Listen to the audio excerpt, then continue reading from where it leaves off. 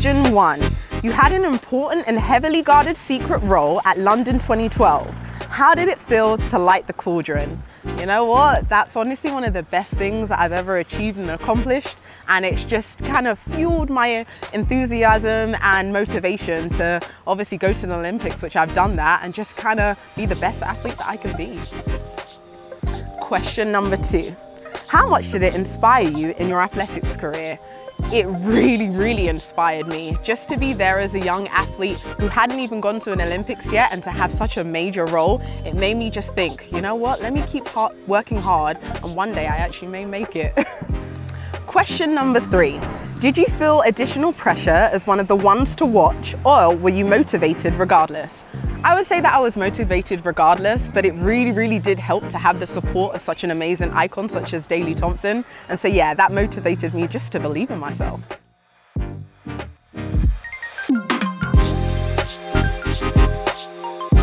Question number four. Where is the Olympic torch that you had from that night? That Olympic torch is kept in a very quiet and disclosed place as it means a lot to me and I wouldn't want anything to happen to it. Question number five. You had the second leg in that Olympic final. What were you saying and thinking once you released the baton? At first, of course I was saying, come on, let's go. And once I released the baton, if anything, I just kind of held my breath because it felt like a surreal moment. And once I saw the girl cross the line in third place and that reassured that we had just won an Olympic medal, I actually cried. Question number six.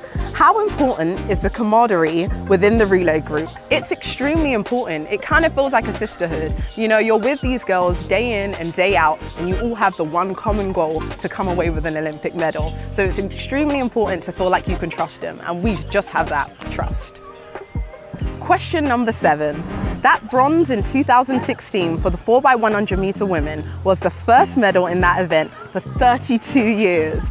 Did that bring added pressure or did you know you could achieve your goals? You know, we didn't realize that we had just broken a record in, until after the relay. For us, it was just a personal goal to work as a team and to come away with a medal was an added bonus. So to realize that we had achieved a medal that hadn't been had in so many years, it was extremely special and we were just focusing on our performance. Question number eight. You've suffered from knee issues for a number of years, including at Rio. How has that been a challenge as an athlete? You know, any athlete can tell you injuries are the, the worst thing ever. But what's most important is that you remain calm and always remember that this is a sport that you enjoy and that you love. And any kind of injury, you can overcome it as long as you have a great team around you. Right, guys, I think I'm all warmed up. Let's get running. Question nine, relay or individual event? Relay. Question 10, beach or pool? Beach. Question 11, heels or handbags? Handbags. Question 12, carbs or protein? Always protein.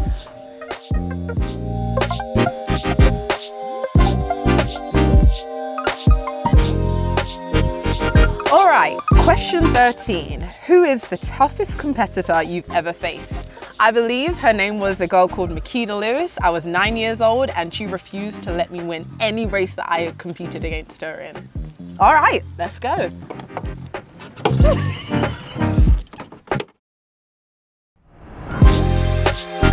okay, question 14. How much training do you do in a week? For me, I train approximately 20 hours during the week, so that's five hours each session. That's for me. Question 15, where do I keep my Olympic medal? I keep my Olympic medal at home with my mum as that's the person that I know that I can trust to keep everything like that important and safe. Question 16, if you could have played any other sport professionally, what would that be?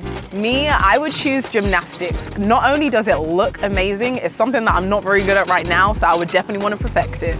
Question 17, who was your sporting inspiration growing up? That has to be the American female sprinter, Allyson Felix.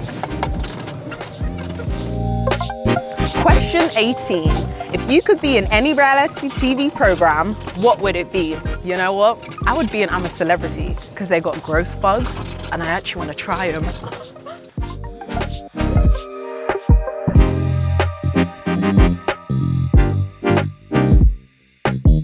Question 19. You're a mummy to a Dachshund. How many funny outfits does he have? He has about 15, probably more outfits than me. and finally, do you have any sporting superstitions? Well, as you see, I like to decorate my nails. So for every competition, I have to make sure that my nails are blue. Right guys, as you see, I'm off to the beach. Bye.